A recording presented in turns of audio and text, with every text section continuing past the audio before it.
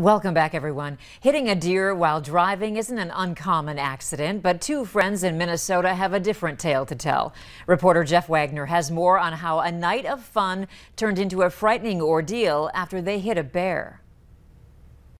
My friend Tyler and I, we were going to go hang out with our friend Sam.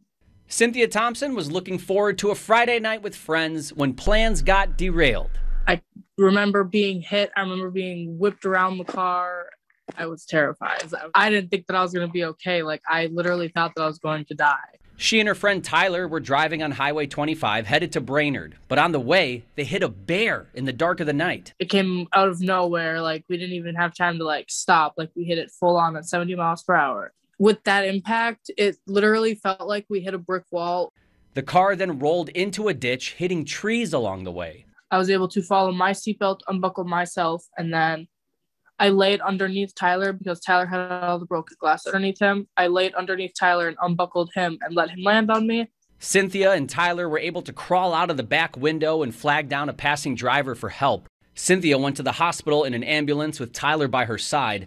Responding law enforcement asked her mom if Cynthia wanted to keep the dead bear. She said no. And I didn't get to see the bear personally. I didn't want to see the bear. I wanted nothing to do with the bear because it was my car that got totaled. I just bought that car two months ago too, and I just made my second car payment to it. It's a crash that could have been much worse, but is still hard to believe. He thought that we hit another car.